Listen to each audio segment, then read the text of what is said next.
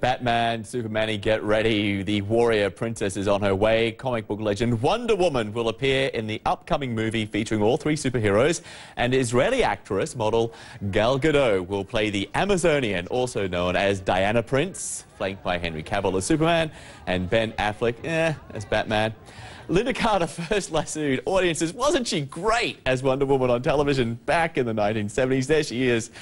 Ah, oh, fond memories. Gadot will have her chance in the summer of 2015. That's when this new film is scheduled for release.